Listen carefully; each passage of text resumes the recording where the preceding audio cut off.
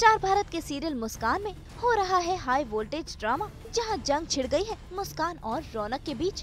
एक तरफ़ है मुस्कान, जो सर जी के खिलाफ है तो दूसरी तरफ़ है रौनक, जो सर जी को बचाने की हर मुमकिन कोशिश कर रहे हैं। घर में चल रही है दुर्गा माँ की पूजा, जो रौनक और मुस्कान साथ मिलकर करते हैं, लेकिन तभी वहाँ पहुँच जाती है पुलिस सर जी को अरेस्ट करने के लिए।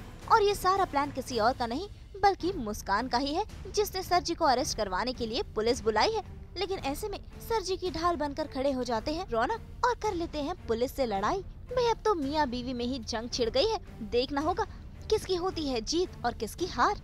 दुर्गा पूजा और है मूर्ति की स्थापना होगी। पूरे कर्टन जैसे कहीं से उतारा जाता है वैसे उतारा जा रहा है। क्या चल रहा है अगर बताए तो थोड़ा। बोलिए। फैमिली में जो दुर्गा माँ की मूर्ति है वो हर साल आई थिंक गायत्री माँ की इच्छा थी कि देव माँ की मूर्ति की स्थापना की जाए तो दैट इज़ वाई ये पूरी स्थापना हो रही है और पूजा हो रही है। और सभी लोग दुर्गा पूजा के अवतार में है red and white saris yes that's the माहौल। ओके लेकिन ये पूजा में ट्विस्ट आ गया है। कुछ आप परेशान सी लग रही हैं। आप भी कुछ प्लानिंग प्लॉटिंग कर रही हैं। पुलिस आने वाली है। बहुत कुछ होने वाला है शायद। सब पूजा कर रहे हैं और सब सबकी प्रेयर्स का इंटेंशन एक अलग ही इंटेंशन है मतलब एक अलग ही मोटिव है। मुस्कान चाहती है कि सर जी का सच सामने आ जाए रौनक रौनक बताएँगे कि वो क्या चाहते हैं। रौनक आप क्यों उस मतलब सर्जी के अगेंस्ट तो आप भी थे आपको भी लगता था वो गलत है लेकिन अब अचानक से वो सही हो गए हैं और आप पुलिस वालों से लड़ रहे हैं उनके मतलब उनके हित में एक्चुअली बात। बिल्कुल आई थिंक पहले जो है रौनक मुस्कान साथ में थे और वो सिंह साहब और सर जी के खिलाफ थे लेकिन अब जो है रौनक उनके पक्ष में है। और उन्हें उनकी रक्षा कर रहा है बल्कि मुस्कान जो है वो उनके आज भी उनके खिलाफ है। तो अभी जो लड़ाई है वो रौनक और मुस्कान के बीच में ज़्यादा है। दोनों एक दूसरे के आमने सामने खड़े हैं रौनक मुस्कान। एक जो है सर जी को उनकी किए की सज़ा दिलवाना चाहता है और दूसरा जो है वो सर जी की रक्षा करना चाहता है। तो इट्स वेरी इंटरेस्टिंग स्टोरी ऐसा मन क्यों बदल गया? शायद आपके बारे में भी कुछ खुलासा हुआ है।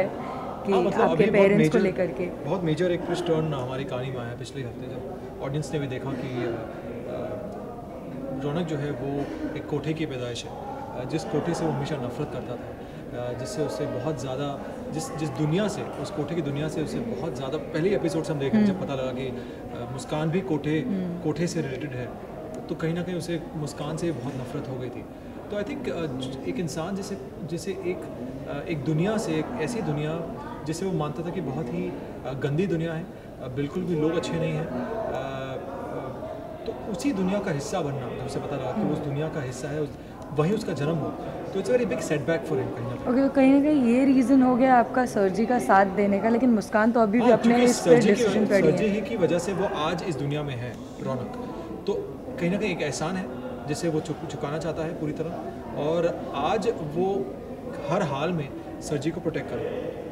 तो it's tables have turn basically okay So he Muskan thinks that it's his duty and Muskan is clueless. Muskan को बिल्कुल भी समझ में नहीं आ रहा है कि ये क्या है अचानक से। उसके पास कोई जवाब नहीं है कि रौनक जी ऐसा क्यों कर रहे हैं।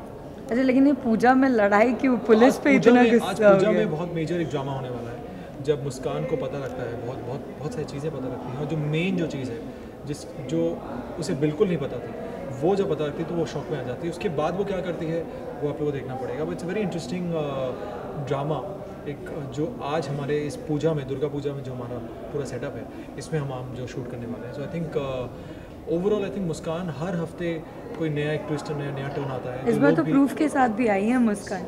हमेशा आती है प्रूफ के साथ। पर हमेशा कुछ ना कुछ कुछ ना कुछ हो जाता है लेकिन आज भी आइए प्रूफ के साथ। तो देखते हैं आज क्या होता है but today is a very important scene जो हम शूट कर रहे हैं वो स्टोरी सीन के वो सीन सिर्फ़ बता देना वो सीन ऐसा है कि मुस्कान जो है वो पुलिस के साथ आती हैं और एक एक प्रूफ है उनके पास एक सबूत है। वो कौन है क्या है वो आपको देखना पड़ेगा पर फुल कॉन्फिडेंस के साथ आती हैं कि वो सिंह साहब को आज अरेस्ट करवा लेंगे। और रौनक जो है फुल कॉन्फिडेंस के साथ कहता है कि तुम नहीं अरेस्ट करवा पाओगे कुछ भी हो जाए। तो again it's it's between them Raunak Muskan आमने सामने खड़े हैं। तो देखते हैं अब कौन जीतता है, कौन नहीं जीतता है, कौन किसके पक्ष में आता है। दोनों साथ होते हैं कि नहीं होते हैं। So law of things which you have to see